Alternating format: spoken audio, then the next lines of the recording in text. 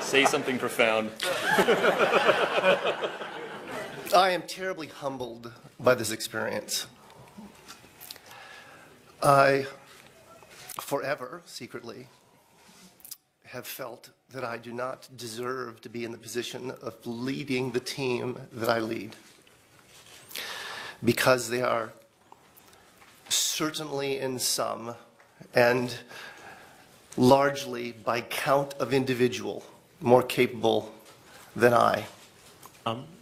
Adam, uh, tell us about the landing. All right, Greg. Um, I can't tell you too much about it. I mean, it looks good. Uh, I'm being a little flip. Uh, in short, it looked extremely clean.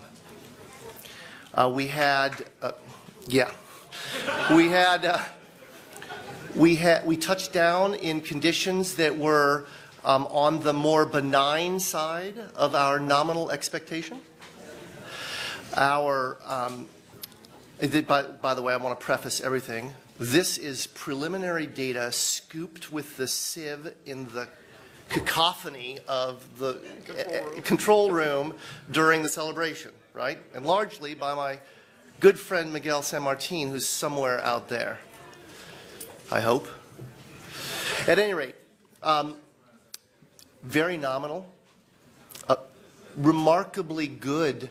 Uh, um, our navigation error was uh, was on the low side of our expectation, which meant that we probably had a good alignment between the celestial center sensors and the inertial uh, inertial sensors, the IMU. Our powered flight appears to have been excellent. If my good friend Ben Toma is in the house, is Ben in the house? We landed with um, 140 kilograms of r- fuel reserves out of a total of 400 kilos that we carried in. And we're going to, Ben worked quite diligently in stretching the tanks at my insistence because I was worried we wouldn't have enough fuel. And so I think I owe Ben a little bit of an apology there. So uh, it looked good, in short. Good and clean. And, and it looks, at least by my eyeball, that we uh, landed in a nice, flat spot. Beautiful. really beautiful. Xeni Jardin from boingboing.net, and I'm a stand-in for Miles O'Brien with PBS NewsHour tonight. What You kind, look more attractive than Miles. I won't tell him that, Adam. Okay. I think he heard it. What, I- I have to ask you, what kind of file type, can you tell us about the image file type and compression that was used to send this very important uh, couple of thumbnails back from Mars? Yes, unfortunately, I absolutely cannot. if Justin Maki is in the room, or there's a couple other people on the team who'd be able to whip that out quickly, but I, I don't, couldn't tell you. Sorry. Okay, a serious question. A little more than 48 hours ago, you told me you would tell me a secret. Once Curiosity landed. Can I have my secret? Yeah, what was this? A lot has happened in the last 48 hours. And to be very truthful, I do not recall what that secret was.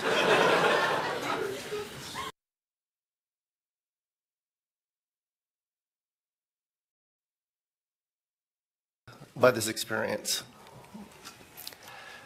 I forever.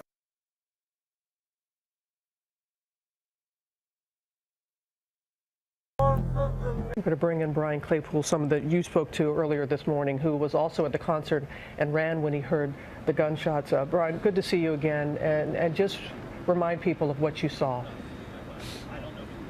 Hey, Robin, I'll, I'll do my best. I just, I can't even believe how many people were killed. But, um, so I, I was sitting in the, in the VIP section, and it was right near the stage, and I heard a popping sound. Thought it was fireworks. I looked up in the sky, didn't see anything. I was worried. Jason Aldean stopped singing. There was kind of a gap in his song. Was very, it was very surreal. Here we have it. The interesting story Brian Claypool is a civil rights attorney who supports the tweets that Lena Dunham sent out. He joins us tonight. And they started shooting and every